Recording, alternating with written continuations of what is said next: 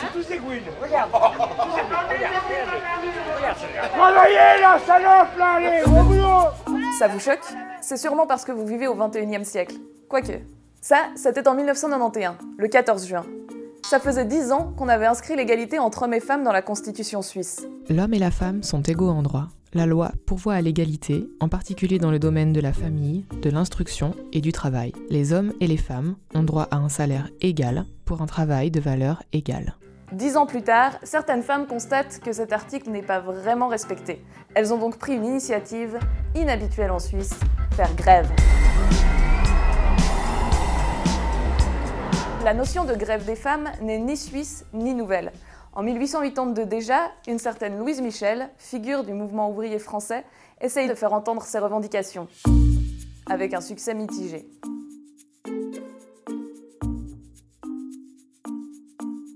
Ensuite, il y a les Américaines. Bon, il faut dire qu'à ce moment-là, en Suisse, on a d'autres préoccupations. Puis les Belges s'y mettent. Les Islandaises aussi. Et finalement les Suissesses, en 1991.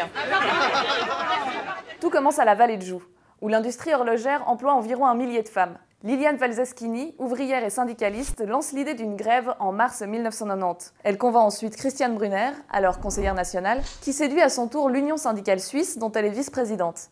L'appel à la grève est lancé. À la grève, pas à la guerre.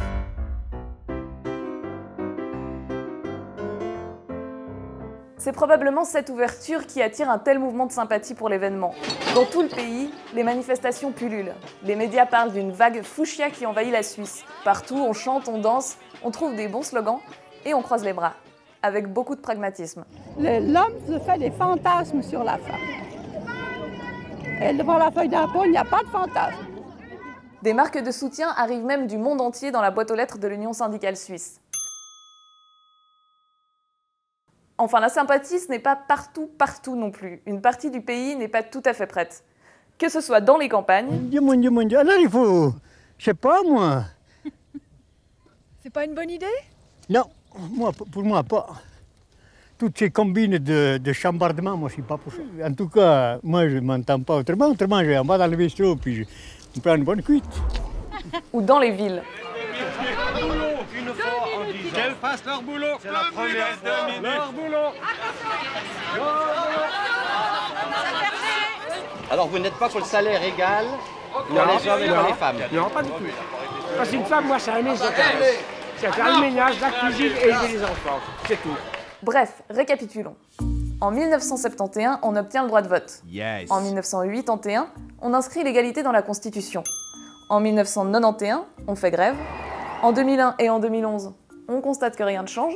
Et du coup, on n'attend même pas 2021 pour en mettre une couche. Et tant pis pour le chiffre rond. Ça fait donc 48, 38 et 28 ans qu'on a l'impression d'avoir évolué en termes d'égalité. Alors concrètement, qu'est-ce qui a changé dans les revendications de la grève? Un partage des tâches ménagères et familiales entre hommes et femmes. Une réelle assurance maternité, plus de crèches. Le droit au congé parental. En 1991, un catalogue de revendications est dressé suite à la grève des femmes. Il porte sur 7 points.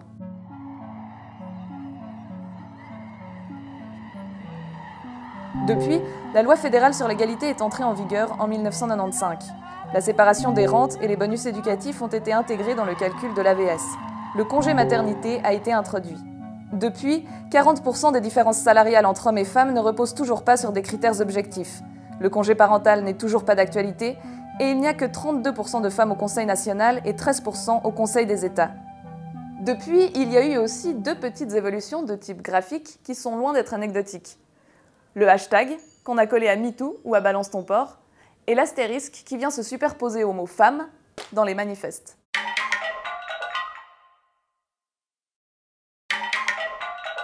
Si le sexisme était déjà combattu en 1991, le refus du harcèlement sexuel et des injonctions faites aux femmes sont aujourd'hui au cœur des revendications. Autre nouveauté de 2019, le manifeste dénonce l'homophobie et la transphobie et défend spécifiquement les migrantes et les artistes. La sexualité est aussi bien plus présente. On réclame une prévention renforcée dans les écoles et une meilleure information sur le plaisir féminin et la diversité sexuelle. En fait, on est passé de revendications très centrées sur le monde du travail à quelque chose de beaucoup plus sociétal et politique au sens large. Nous voulons une société où le travail productif serve les intérêts communs des êtres humains et non le profit capitaliste, où l'équité sociale, l'équilibre écologique et la souveraineté alimentaire soient des valeurs inaliénables. Dernière nouveauté au goût amer, aujourd'hui on ne se bat plus seulement pour avancer, mais aussi pour ne plus reculer.